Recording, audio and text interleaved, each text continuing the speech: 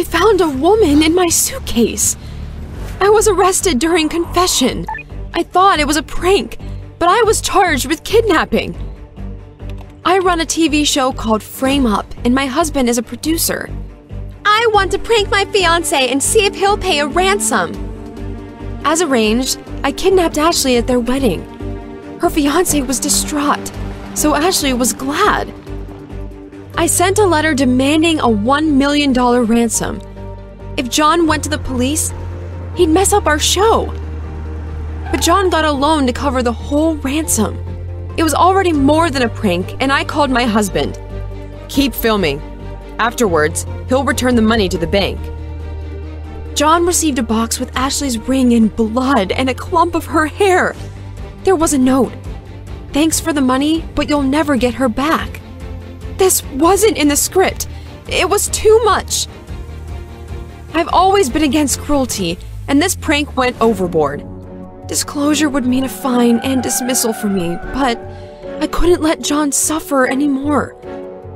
I told him all about his fiance's order. I pointed out where Ashley was hiding, but I had no idea I was signing my own death warrant. John went to find his love, and I went to church. I didn't pray for myself, but to repent for agreeing to this charade. I told the police all this, but they didn't believe me. John called us when he arrived at the country cottage.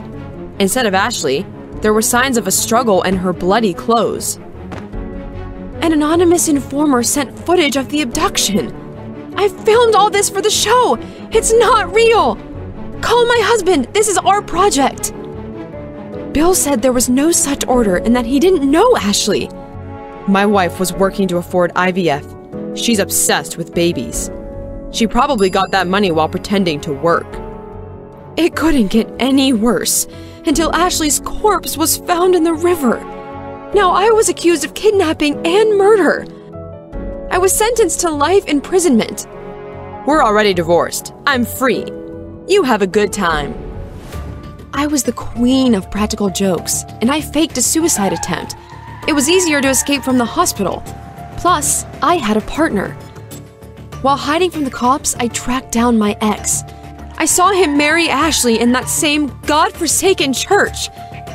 Ashley was Bill's lover, and they hatched this plan. When they got the million from John, they set me up. Ashley's twin drowned in the river. They'd sacrificed her for the plan, but they didn't think their exes would unite. I was cleared of all charges, and the real culprits were punished. I got a big payout for this episode and left show business.